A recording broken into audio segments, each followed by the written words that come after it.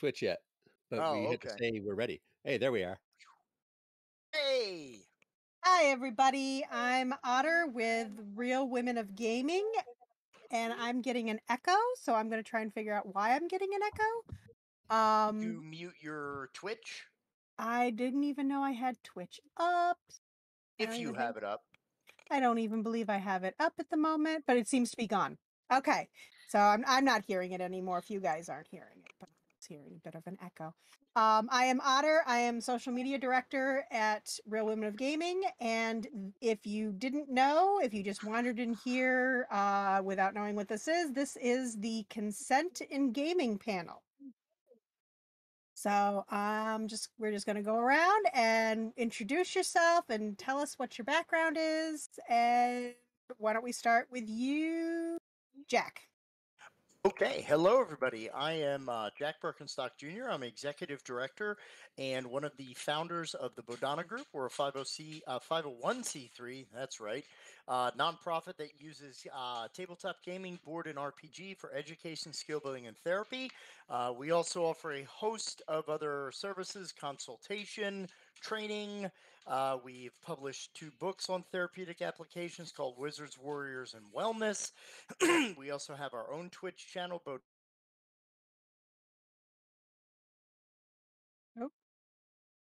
He seems to have locked have up. Twitch channel. Oh yeah, what's that? Did I lock up there? Yeah, locked up there.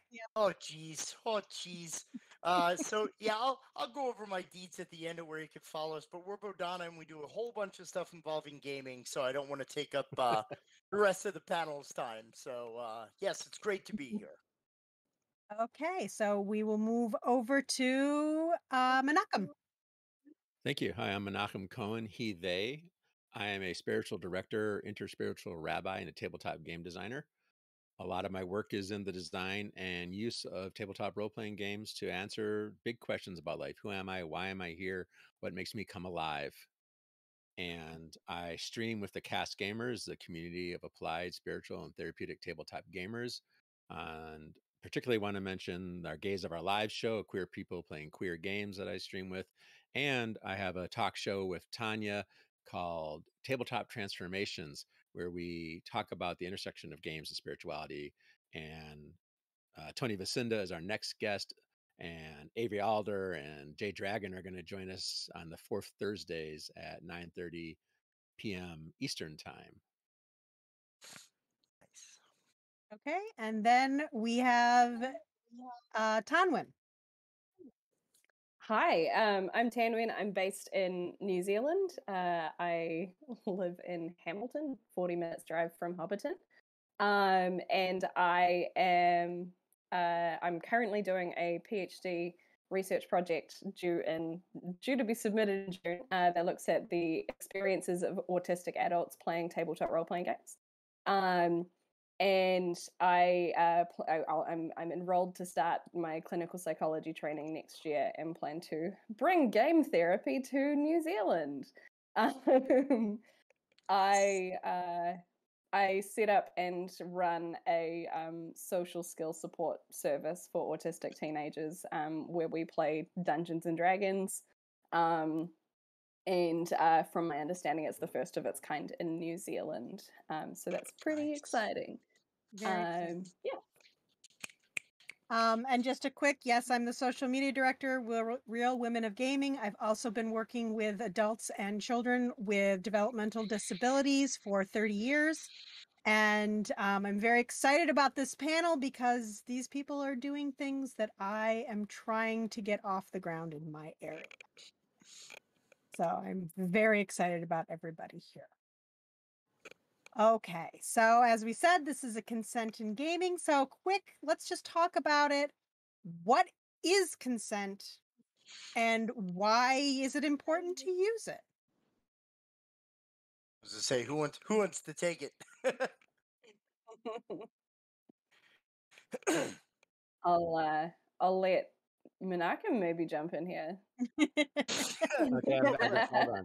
We said we were going to keep this part short. Consent is when everybody, someone, or someone's agree to partake or participate in something, what, whatever it is, and agree to be there until they say no. I don't agree anymore. It's agreement to participate.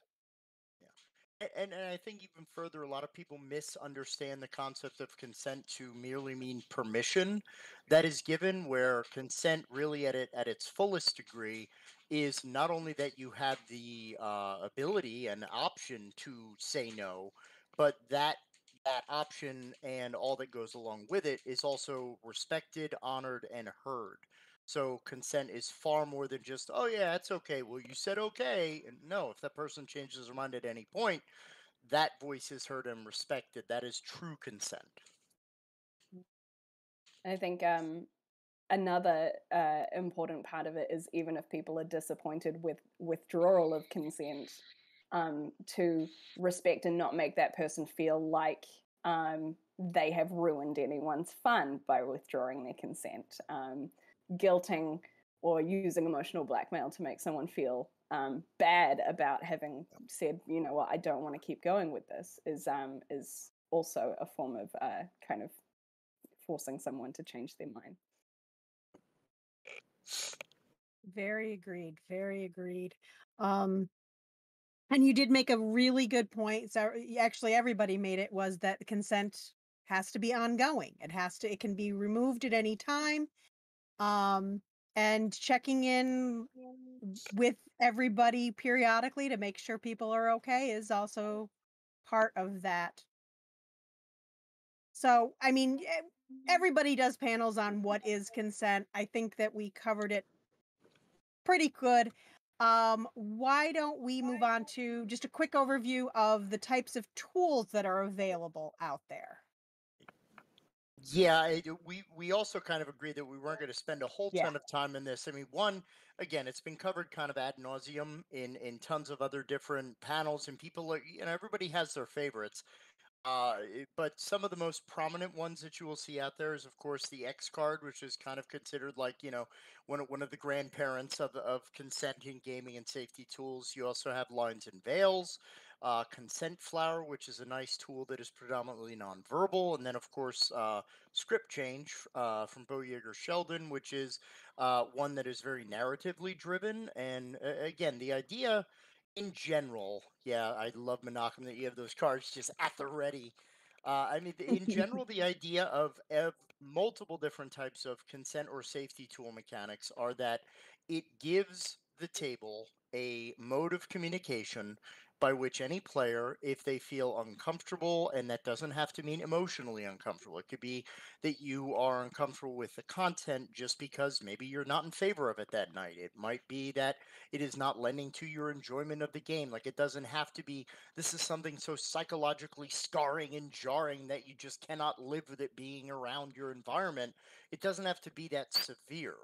Uh, but it's that players have a mode of communication that they are able to voice this in a manner that is comfortable to them, which is why no matter what tool it is that you go, and I believe that we have some links for folks, uh, Mhm. as well as a tremendously great opus that has been written. It's published for free by Monte Cook Games uh, about consenting gaming, which even explains some of the reasons why it's a great thing. We're going to go into detail about that, but uh, yeah, as long as uh, uh, having this at your table, whatever tool works for your table, is great. If you're I do doing this there, yeah, go ahead, Menachem. I do want to point out the uh, cards on the table that Eric Simon put together. It's it's one that says not what I don't want, it's what I really want to address, and the table agrees on things they want to have happen and address in the game. Nice. So that's the link is in the in the chat. I think consent tools like that are super exciting. Um, where uh, in the consent flower, which will also get added to the chat, um, is is similar to that in that it has both sides and it has the green section, which allows you to go, yes, I'm I'm totally on board with this and I want to keep going. Um, and I think that's so important because that gives the GM and the other players permission to move forward and permission to explore um, rather than shutting down. Um, and and I think uh, yeah, again, it's it's being given that freedom to to explore these kind of slightly more deeper, darker things um, means that you get more out of their gaming experience. Consent doesn't just have to be saying what we don't want; it can be saying what we do want. Well, and, and it's even, it's not that you even have freedom or permission, but I think that systems like that, you know, encourage that shared experience, which again, it, it keeps it on the positive because you know there are a lot of naysayers who are like, well, it's controlling or it's whatever.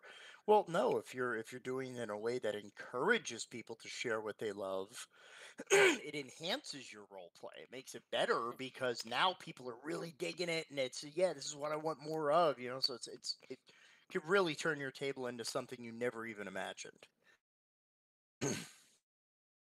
Okay, so now we've got what consent is. We've got some tools that can help you um, have these discussions at your table. So I guess the next important topic is why do we should we have consent? What is it? Why is it important? Because we said so. No, just kidding. Well, I mean, that's consent, right? yeah. Well, it's Not really.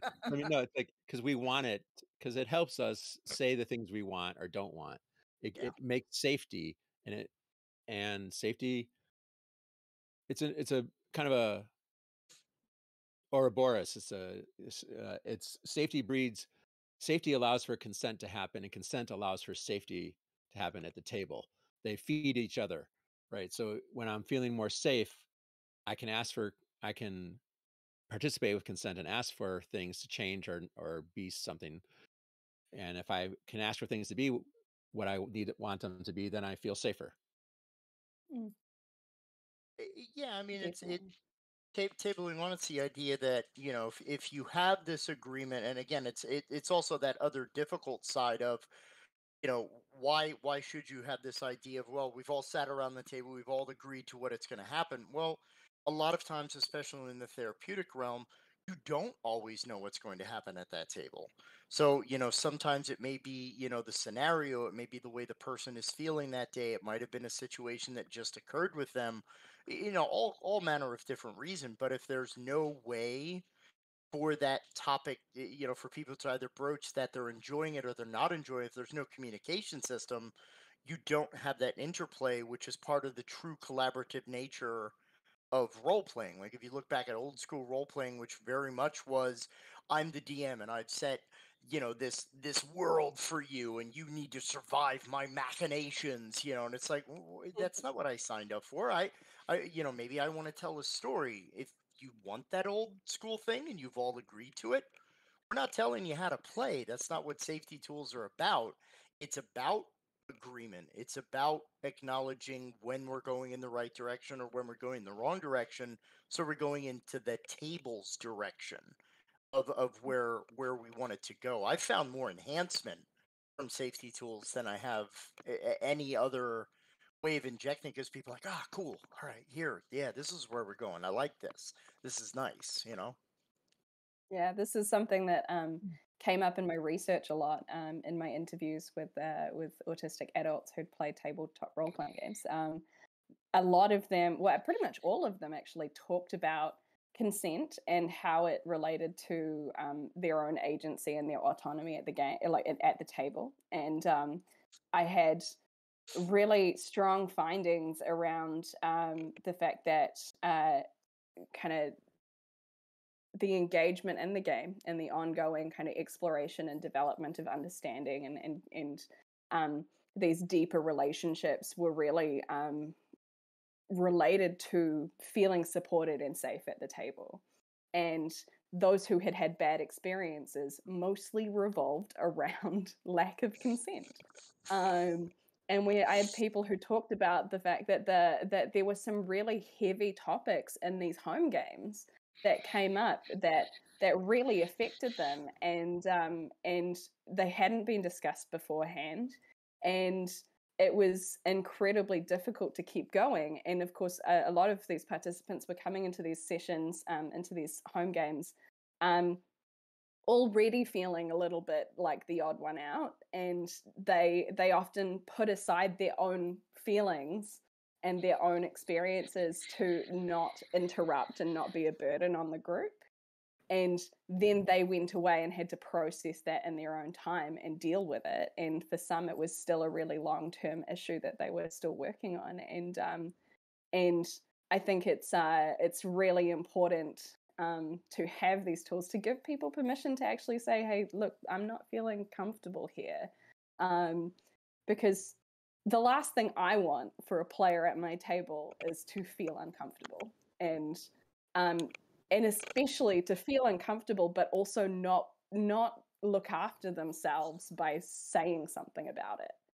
Mm. Um, I would hate to find out after the fact that that a player's gone away and had a really long time having to process what went on at the table. So it's all about and kind of giving those players the the confidence to to then use these tools to explore and understand and, and develop this kind of sense of belonging.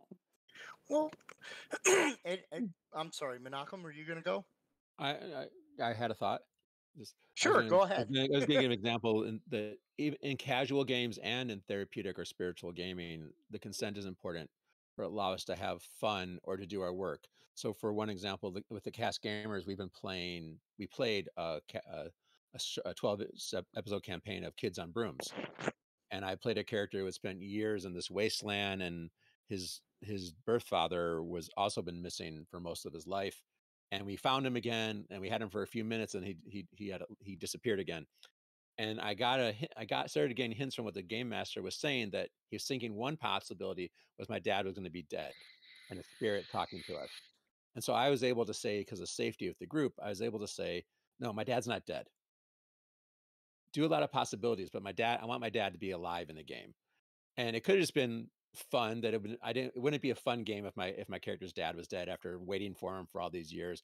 But um, it might have also related to the fact of my father's passing just four years ago, right? But in a therapeutic space, a character having a missing dad who comes back could be a very powerful tool for processing, right?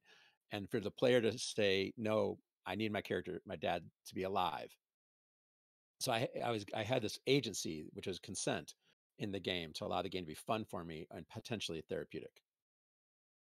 And, and and kind of like tabling off of both of those points, you know, a lot of people look at this as either like like it's a pass fail kind of ideology where either you know consent is allowed or topics aren't allowed or they are allowed or whatever but i mean just the the idea because we found a lot in a lot of our therapeutics is the players just knowing that they had the ability to say no at any point and that that was respected gave a comfort level like it was almost like a level of cushioning that okay i because eh, when we talk about things like resilience whether it's emotional resilience or what have you a lot of times people are like you know i use the phrase you know let's get uncomfortable with the uncomfortable because you know and there's a lot of talk about you know what exactly is a trigger what does that mean if something is is what's the difference between I'm uncomfortable versus I'm triggered. And that's a very big discussion point.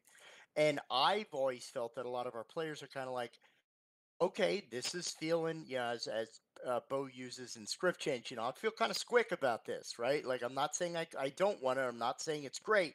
It just, I feel uncomfortable. Let me sit with that discomfort to explore and allow where it might go and I think that that freedom to know that a person has that if, if it's too much, I can close this off. That it's a it's a it's a strengthening, it's an empowering tool that allows me to then sit with that discomfort to the point of knowing I can shut this off whenever it's too much. So it actually, in some ways, has helped some people build their resilience to emotionally uncomfortable material.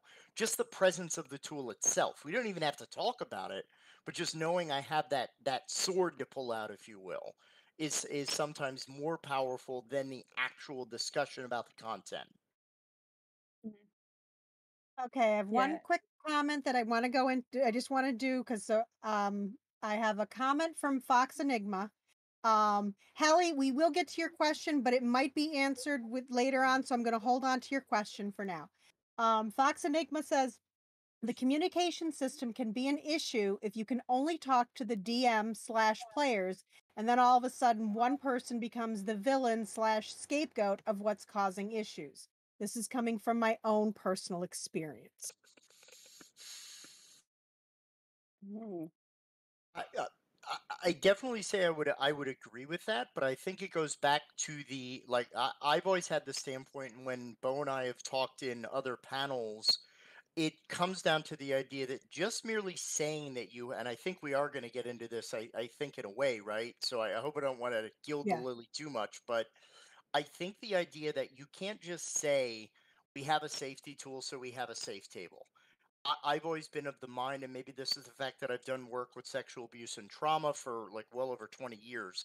So the idea of until you have an unsafe moment at your table when that tool is actually used, I don't know necessarily if you can truthfully say you have a safe table because Mhm. I don't know as a player if what I'm going to say is going to quote unquote bum everybody out or if I'm going to like suck the air out of the room or what have you. So the idea of until you have that moment and then you talk through that moment, and it's just a very, I'll try to make this a very short example. So we were running uh, COVID support groups for a local university in Bodhana. And the whole idea was these are all students who were not interfacing with each other, so we were running D&D to help people connect during the pandemic. And we had a moment where one of the players was like, "Well, I don't want any corpse looting. No corpse looting." And he was specifically talking about dragons. So we kind of talked through it and we were like, "Okay, we just want to understand because no corpse looting means no leather armor. It means no spell components. Like what level does this go to?" That wasn't the important part important was we had a very drawn out discussion, making sure everybody was heard. And at the end of that conversation, one of the other players at the table, uh, it was Black, said, Okay, I'm going to speak up right now.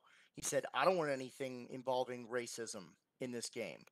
And the player who brought up the dragon issue said, Well, wait a minute, though. If we don't talk about racism, how are we going to work through racism? And, and the other person was like, I live racism.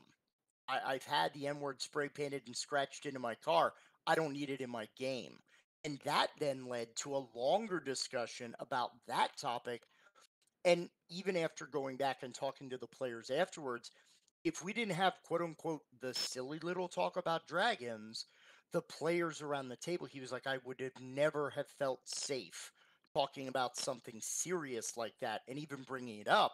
He says, but you broke the seal. Like we had a conversation. Everyone felt that they were being respected in what their opinions were about something fairly innocuous. But it led to the fact that a player said, okay, now's my time. Bang. It, and and they and they broached it out and the group agreed upon everything and it was just so magical and we didn't expect it to go there we didn't say okay you know lines and veils you say at the beginning no one wants to be a flat lever, right? No one wants to break the vibe or whatever. So I, I think until you have an unsafe moment and how you navigate that unsafe moment, I, I think really has a lot to do with, and I believe it was um, it was someone said it earlier in the panel.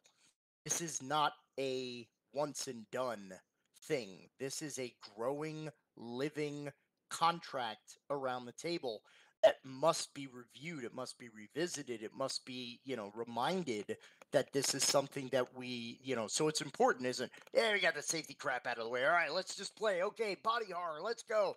Whoa hey hold on. You know what i mean? So i i, I think that's really important and I, and I hope that addresses the question in a way. Mhm.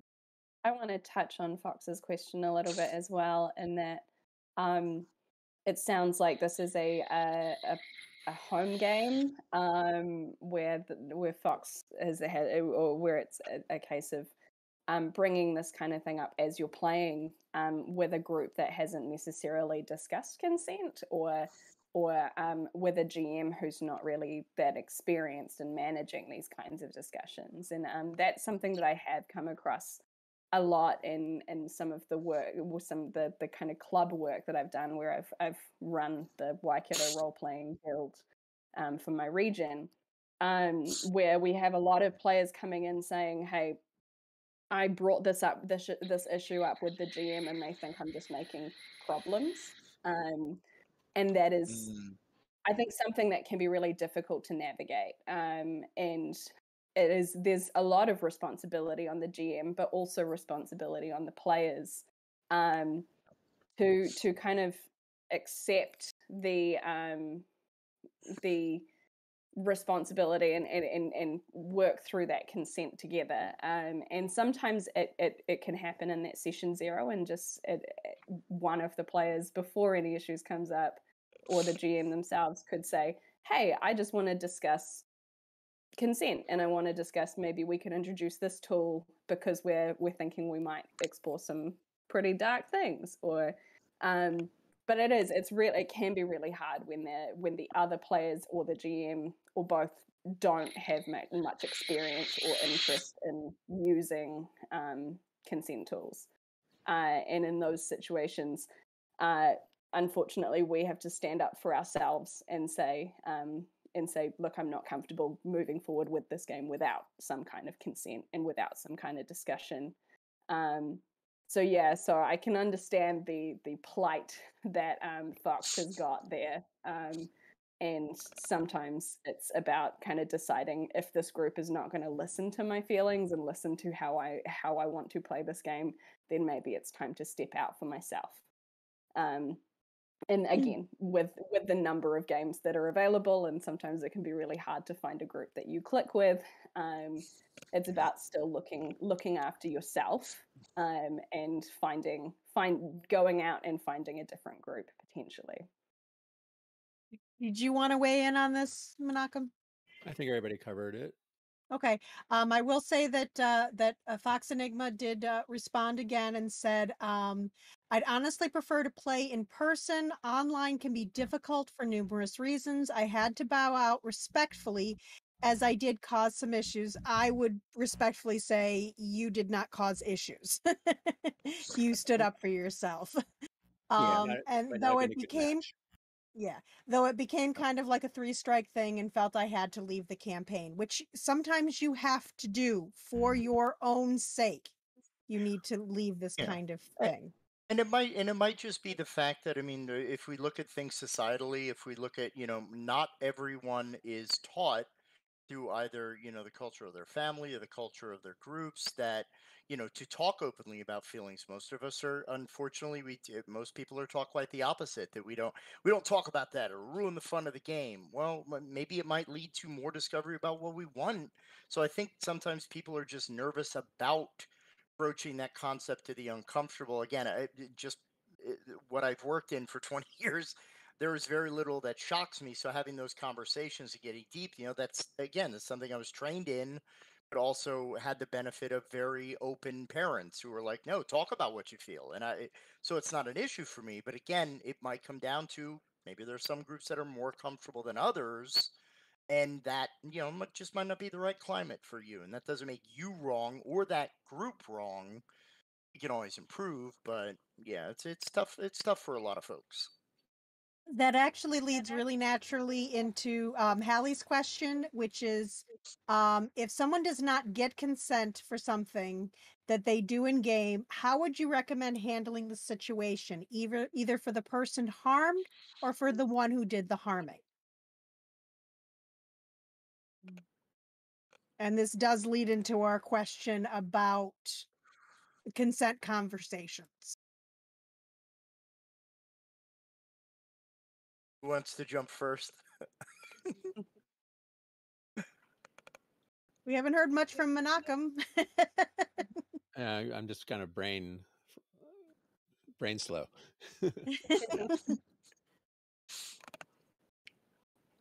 um, I think was... uh, one. Oh, sorry.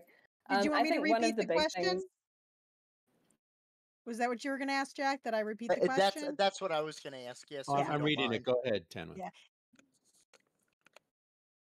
Um, okay. So the the I think um, uh, one of the big things um, that I have always really encouraged at my tables is those open discussions about um, whether people feel safe um, and whether people want to proceed with certain things. Um, and so uh, I I I also I like Jack. I have come from a family where my mum was a clinical psychologist, or my mum is a clinical psychologist. So so I've always been encouraged to stand up for my feelings and, and talk about what's going on and be have those really open and honest discussions. And so when we've had these sorts of things come up in our own home game or in um, the sessions that I run through work, uh, I don't mind being the person who stands up and goes, "Hey, I just saw something that I don't appreciate, and I think I think that we need to discuss what just happened." Um, and so so having someone who can kind of stand up and say look i think we need to work through this. Um, but i also think it's uh, sometimes uh, the person who gets affected by it may not say it in the moment um, or may not um, may not make that really outward expression to to show that they're uncomfortable um, and so I try to make it really clear if I think that anything's come up, but that person hasn't kind of made a point of sh- showing that they're uncomfortable, I might send them a private message or I might write a little note and just say, hey, you okay? Um, and uh, letting them decide whether it gets discussed there and then or whether they whether they want to kind of work through it themselves and then come back to it. Um, but it is about uh, stepping up and, and bringing up what's happened and trying to have someone be a mediator. Um, doesn't necessarily have to be the GM because the GM could be the one of the people in this situation. Um, but I think yeah, having having someone be a mediator and be able to give get get kind of what has actually happened and really go through and, and break it down, um, and then highlight from a non-accusatory point of view what has happened um, rather than saying well you did this and i felt this way um, talking about when we when we play through these themes i get uncomfortable because of these reasons and um, i want to highlight what what happened in the game because some people might just not even have realized that they stumbled into that um, so yeah, really important to give people the opportunity to talk through without um, without pointing fingers too much.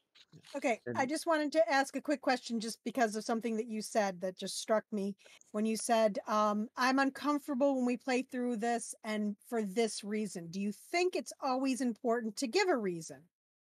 Because if no, someone. Not necessarily. Okay, because um, I, I know that sometimes I'm not comfortable saying, well, if I can't tell them why, I don't like this and I don't want to tell them why I don't like this, then maybe I should just keep my mouth shut. And I just wanted to get your opinion.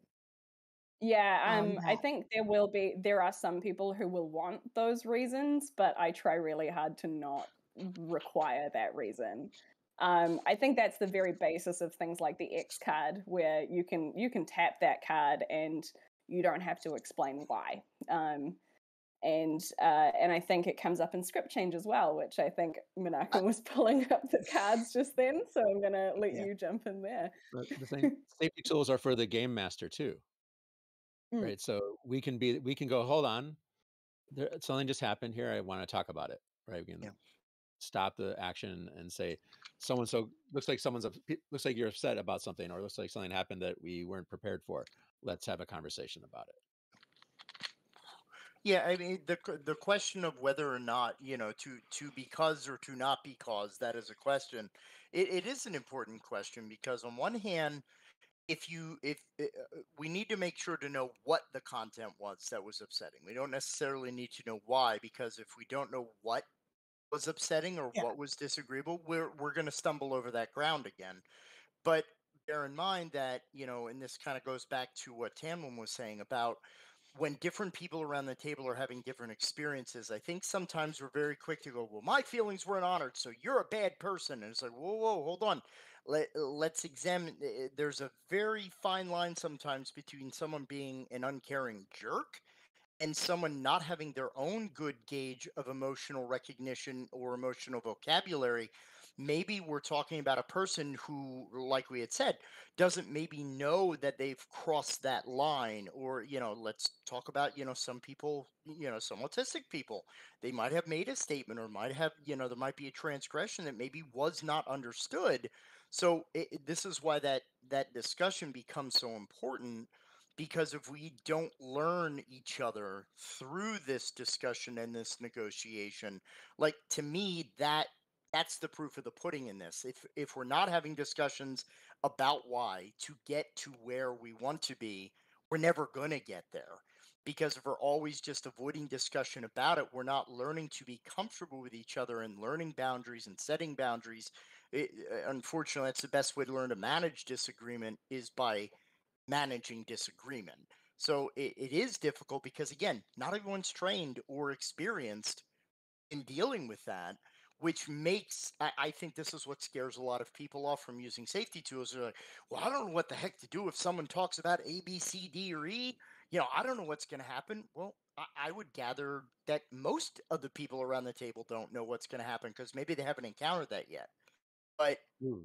Letting it happen and talking through it, right? Let let's learn together. I don't know. We might see other perspectives. That's a novel concept, right? Uh, so I think that that also, you know, let let's break bread here. You know, let's let's be comfortable with each other. But that's a lot of trust. So there's so many paradigms that come into this. It's not as simple as yeah, I was bothering us because you know my dad hit me. Okay, moving on. You know, it's not that simple. I don't think. And you also brought up preventative medicine here, right? That we can hopefully try and avoid some of these things by the ways we set up the game. Like, Yeah. not to talk too much about session zero because we're going to have a panel later, but to set expectations and talk about what the game's going to be like in session zero. And you hear a lot about that in like two, two and a half hours or, or an hour and a half, whatever it is. Yep.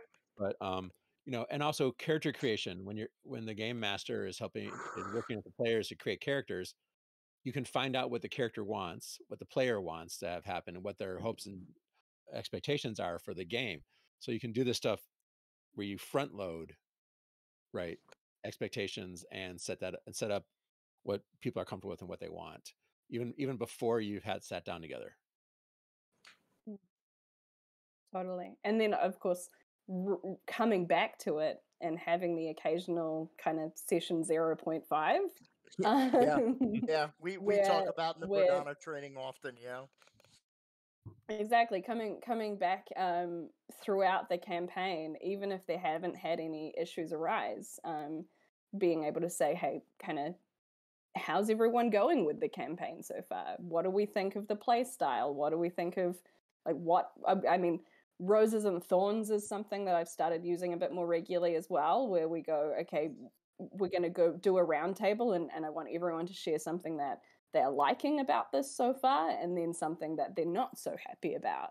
Um, and it can be anything to do with play style. Yeah, it's it's such a cool little tool, and it and it means that like everyone, including the game master, will weigh on, weigh in on this, and it and it's and it doesn't have to be consent related. It doesn't have to be theme related. It could just be, I'm not so keen on the mechanic of this, or I haven't enjoyed how long combat takes, or something.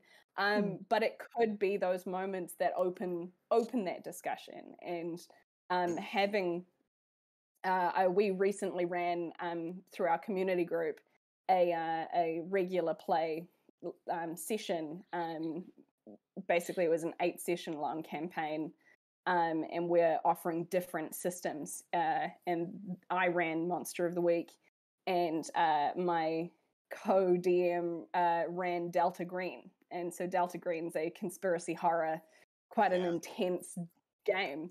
Um, and he warned them right at the start: characters are going to die. like Yeah. we might all go through three or four different characters in this eight session arc. Um, and he- he did roses and thorns at the end of every single session to make sure that everyone had opportunities to bring up what they were enjoying and what they weren't enjoying. And it was a really quick and casual way to introduce that. Um, I did roses, roses and thorns at the end of our little arc, um, but we also did the RPG consent checklist by Monte Cook, who in the in the session building in the in the world building session to kind of really clarify what it was that people were were comfortable with or, or what people wanted to actually move forward with and, and, and explore during the game. Um, and so we decided that our game was going to be much more light-hearted compared to Delta Green. Um, and uh, and we it was very much kind of Buffy the Vampire Slayer. Um, and so so we we had an X card on the table to make sure that everyone could use it at any point, and no one did. And so when we came back to that final session, I wanted to go through those roses and thorns more as a as a learning opportunity for other people um, and for myself because it was my first time officially running that session, so uh, that that system. But um, but yeah, so the Delta Green comparison was making sure to use that tool every single session to give people opportunities to talk if they needed to. Yeah, a similar thing we do uh, with cast cast, which I learned from my colleague Davi Weasley, who's a pastor who did spiritual direction and gaming work, was each game we have a briefing and a debriefing where we ask each player questions like what are your comments questions or concerns about today's game? And then we usually a themed question around the game. At the end we check out and check about favorite moments in the game and another you know or and a themed another themed question.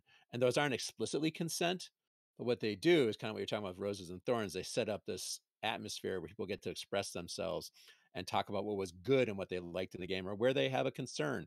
You know i'm concerned about this we're going to that character that someone's going to, might die this episode and that's really going to be hard you know people can voice those concerns before the game and it sets up that safety yeah and, e- and even with script change they use the idea of highlight reels and the rat meeting where highlight reels are you know just pick a moment from the game that you thought was awesome it it could be something deep. It could be something kind of a a one off where man that was really cool the way that blah blah blah blah blah. You know, and that again, like you said, that's setting up that it's okay to share. And and again, the more that we converse, the more that we talk about these things, the more that that makes it okay to talk about the surface level stuff. So when we do have to dive below, we know that that it, it's okay to dive in.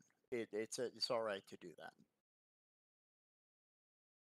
You know, it's funny. Um, when we had our meeting, our pre-panel meeting a couple of days ago, um, the next day I started a new one-on-one with someone, and I was very nervous because um, while I've played for a lot of years, I'm fairly new to storytelling, to being on the other side of the screen, and the both of you, uh, Jack and Menachem, had mentioned um doing this wrap up what'd you like? Was there anything? And i did that with her and it made me feel so good. She told me what she really and she told and she didn't have any complaints yet. It's the first episode of course. Um but yeah but she was like oh i loved this about it and i'd never thought of that. And she could really tell i had really based this entire thing around her character that she and she really loved that which is very easy to do with a one-on-one a lot easier than when you're working with a whole group. But i really want to thank you both for giving me that idea and it's something i'm going to carry into the future with things. Kitty! Sorry if i see an animal i have to comment. like, we've been away for the required kitty required cat in the, so, in the yeah, yeah, he's being be. very clingy. now it's a real stream because uh, yes. cat has mm. appeared. Yep, absolutely. He's not. He's very camera shy though. He doesn't like being in front of the camera. one of my players in one of my games, uh, his dog always like she's like obsessed with him and she will sit right next to him and stare at him the entire stream so she's become our our mascot she's so cute um, so, I think we had a quick question from Jen um, about highlighting the difficulty of not turning your camera on online. yeah. You, do you mean it just in a session? Um, I I don't know. I think, I think that jumped out yeah, of chat. I, I think Jen. Uh, I think Jen uh had made that comment um because I if I'm not, oh, because now she's in on on her other account. Oh. yeah, she's now she's now in FTW freelancing. Was that a real question, uh, Jen, or was that just because uh, we saw you for a brief second when you got in? I no, I I mean just to briefly answer it, I I've had some folks in our therapeutic sessions that you know one person in particular requested if they if they didn't mind because they had some body dysmorphia uh, and looking at themselves in the camera was problematic to them. So mm-hmm. we, you know, just, just, discussed it to the group. And we were like, hey, this, and everybody was, yeah, if you feel comfortable, turn it back on. If you don't, that's cool. And, and, you know, again, conversations like that were only, uh, we were only able to have the, that level of conversation because we had set up that environment. Like, so yeah, I, I, I personally, I don't see any problem if, uh, as long as the person's participating and they're still kind of involved, because you know that's another thing. Is what are you like? You know, playing Minecraft or something? Like what's you know what's going on back there? But yeah, I that's Yeah. at least my opinion. I'd rather see So people's oh, faces. sorry. It's allowed people to participate who wouldn't otherwise participate to have their camera Mhm. off and just be voice Yeah. voice. Exactly. Yeah. Yeah. I always prefer think to yeah. be able to see, but I would prefer not to be able to see than to not have someone play. I uh, I have had this um, more for technical reasons as well, um, where we had last uh, in 2020 um, when we went into lockdown for the first time. Um, we had uh, we very quickly had to switch our our sessions to online, and I know that the tech that people had wasn't really up to scratch. We had some people who who lived out in the country and didn't have very good internet connections, and so they couldn't turn on their cameras. Um, and so yeah, so we luckily were able to address that from the perspective of um, the the kind of tech side of things, and I think that was a really good way to open that up and, and give people permission to not have their video on. Um, and and without having to bring up um, why people necessarily didn't want their cameras on. Um, yeah. So I Mhm. think for me, I prefer it if I can see people's faces, just like Menachem. But I uh, I also recognize that some people, yeah, some people aren't super comfortable with it. So Um, so Jen uh actually added more to it, and it was how do you manage group dynamics? My biggest thing is talking over each other.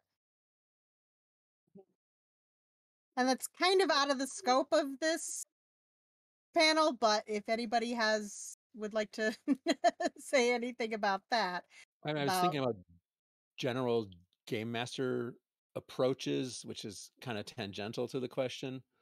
You know, is that like how? do- What is your game mastering style? Does it promote a, a, a safe place? Does it promote a place of cooperation? Like the game master can ask one person speak at a time or raise your hand to speak, kind of things like you do in any Zoom meeting. But I was I was also thinking about like I remember once when we were, I mean, my kid who's 15 now was starting to play games and was believing the the game master, the dungeon master's job was to try and kill the play- characters, right? And that that's like I I I cr- quickly corrected that misconception, but there are people who believe this, right? And and Yeah. sorry, I, I um, who play that way, and um, the the game master's style could really affect the safety and tone of the game and like doing something like world building with your characters and letting the characters build and talk you know walk into a bar they get to describe the bar right or you can play arium or tel- microscope with people to set up the world beforehand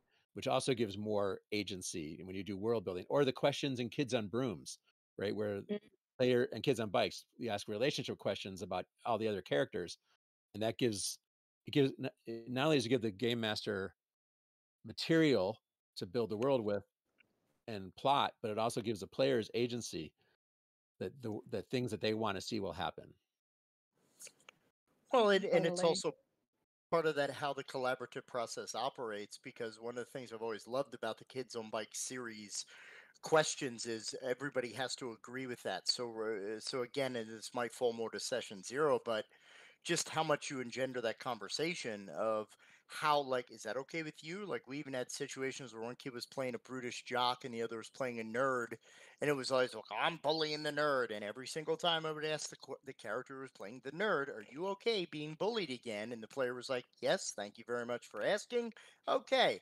But that sets a tone as the game master of oh, we're going to make sure that it's okay with both persons in this arrangement so they, uh, that even collaborative process gets people used to working together. So you've already set that that stage, and I, I think it like Menachem said, it goes the same way with you know who's talking at one time. I mean, part of it is okay, guys, we should probably figure out a way to do this, otherwise no one's going to hear anyone else.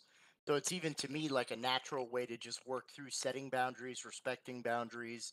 You know, a lot of the because we have interruptions at regular tables, not just in the online environment where people are talking over each other or we use mm-hmm. private message. Like if you want to drop a comment or MST3K to session, just drop your riff in in the in the pri- in the chat. That way, it's you know not disrupting the actual flow. So it's even using tech in a different way to let them. Yeah, if you want to keep riffing at what's going on, go ahead. You're not interrupting directly, so you're still being respectful. So there's different ways to do it, and it, it depends on your group. Okay, so um, there was one last topic that we had talked about, and I think we covered it fairly well, but I just wanted to make sure that we covered all the parts of that topic, and that was um, what it means to create a safe space and the challenges in creating safe space. Because we've talked a lot about how the uh, how giving people so that they feel comfortable bringing things up. How do we foster that so that people will use these tools, will will feel comfortable speaking up when things aren't when they feel their consent has been broken? I feel like we've touched on this um, we have a number a of times throughout yeah. this discussion, but um, but I think the biggest thing for me is modeling it myself and yeah showing that I'm doing it and and checking in with other players and um, even when I'm being a player myself, um, speaking up and going, hey, kind of we need to be a little bit careful here, or making sure that I am using the consent tools that I'm putting on the table for the players to use. Um, and yeah, like like Menachem said, you can the the consent tools are for the GMs as well. Um, it's not, and, and so modeling and showing that you're comfortable with doing it is um, is really important to give other people that sense that they can do it. Um, Thirsty Sword Lesbians, I believe, and other games use they give you experience or advancement for using safety tools. Mm. So they oh, build it mechanically into the game. I just picked can, that up, but I haven't had a chance to look yeah, at it yet. You can add your own way of making it mechanically relevant. Nice. Yeah, it it it really, I mean, it, it, I think especially with like a lot of the younger players that we have in group, the whole idea of you know, it's not a traditional type of group environment, at least from the therapeutic. Like, it's not like we f- stop every five seconds to ask a feelings question or whatnot. We let the narrative drive it. So I think in in certain examples, especially if you're leading the way, like I press the pause button in script change more than most of my players do because in those situations they're like you know we had this uh, one situation where it was like uh you know a, a, a moment where we were kind of diving into a character's home life and the and the character was kind of sharing an uncomfortable moment that you know that why this character did not get along with their older sister. And we asked some questions and it was because of um, uh, shall we say some uh, you know very nefarious behavior. Um, and so the table was stunned when this revelation came out at the table. It was like, no, my character, you know, she she molests him. That was the whole thing. We were like, everybody was silent and quiet, and like no one knew what to do. So I was like, okay, so we're gonna push the pause button for a moment. I'm not gonna say what anybody is feeling. Like I didn't want to interpret it for them, but I kind of said, like, I'm gonna push it because I'm noticing that everyone's kind of a little quiet kind of showing them it's okay to interrupt the game if something is uncomfortable. Let that just like Tamlin said, that leading the way, that role modeling, it's not only showing that it's okay, but it's also legitimately showing the use of the tool and how you would implement it. So that way they know it's okay because you're the facilitator, right? You're the person in charge, so to speak. But it also shows them the tool in progress. So it it, it belies like a tr- I trust it and I'm running the group. So we can trust it. We're going to examine this process together. And it, and it was very, it, it was a very good outcome of that situation that everybody felt like, oh, okay, we can talk about this. All right. I, I thought it was just me that felt kind of, you know, icky about the whole thing. No, everybody else felt the same way. Uh, and everyone was too nervous to say anything because they didn't want to like you know jam up this player's flow or whatever but by the time that we got through that initial kind of moment everybody's like oh okay and we had deeper conversations down the line so yeah Okay, so is there any more questions that people have? Um, we've only got about five, well, we've got about three or four minutes left. Um, if you have a question, you don't want to type it in, um, go ahead and just unmute yourself to ask your question. That's that's fine at this point. Um, I just saw that Fox has asked, um, how do we handle role playing outside of the actual session? Oh, I missed that one. I'm so sorry. So I think that um, that kind of relates to to um, potentially player and GM role playing private character moments. Maybe is that correct, Fox? Uh, I meant more so like just RP in general, because uh, in the other group that I was on, they started using threads and separate stuff, and it got hard to kind of manage everything. Also, like they were kind of continuing things out, like continuing RP with each other and and with the GM, like in threads outside of session time. Yeah, exactly. Oh, okay. It, Oh, it became a little unmanageable because sometimes I would be really busy. I work from home, I do tech support, so I have plenty of free time, but some of the people didn't, and then I would be a little like, oh no, should I do this? Should I do that? mm. Mm.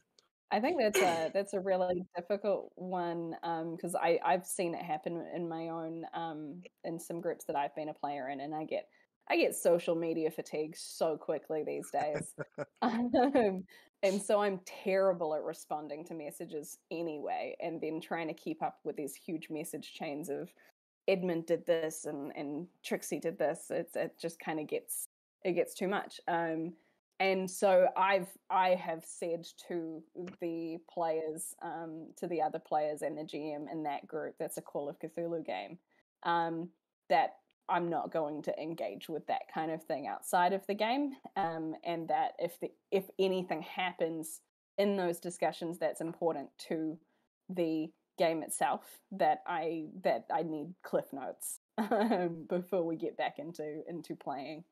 Um, and uh, sometimes it can just be kind of that behind the scenes fun thing fun things that aren't going to necessarily impact gameplay um, but as soon as it starts heavily affecting gameplay that's when i would be speaking up and saying hey i can't keep up with this so you need to inform me uh, in a short form of, of what it was that happened that's important to my character I mean, there there's some systems that actually rely upon that. Invisible Sun, also from Monte Cook Games, is one of those very.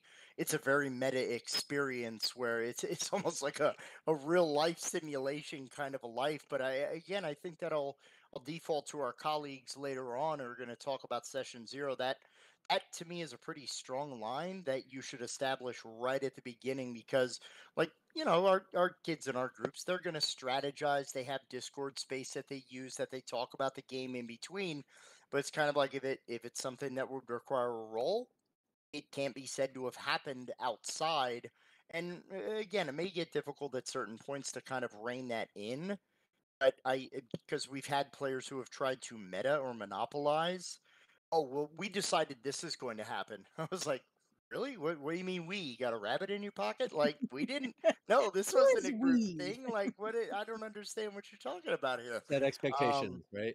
Yeah. yeah set set them but also follow them because Follow them. yeah absolutely because they, they can get out of hand real quick Mm. Okay, well mean- we are we are about to get kicked out of here because the next panel I'm already seeing some of the people from the next panel coming in. And that's a really another really important one. And that's oh hell no, uh being a minority in horror. So I can already see some of the the panelists for that are lining up to uh, just throw us out. Um, but you're more than welcome to stay. um, we're just gonna have to turn off our cameras. But I just want to I just want to thank the three of you for doing this with me. And if any of you would like to join for the session zero, I know um, I know you can't, Tamwin, but uh, Jack and Menachem, I did lose a panelist. So if you decide you want to come, because I know you guys do have a lot to say about session zero and you held yourself back. So if you want to come and throw some things in there, I'd love to have you. And that's at nine o'clock. So I'll, I'll, I'll look into it. Thank you. right yeah most Thanks definitely so. Thanks, everybody. Thank you. Yeah. Thanks for, thank you, All right. Tamlin. Yeah. for joining. Yes, Yes. thank you. Thank you for having me. So kind Of of slightly unorganized last minute, but yeah. No, it was awesome. It was awesome and good game tonight. Yeah, have fun. Yeah, yeah. My All right. two of my players have already arrived, so all all right. right.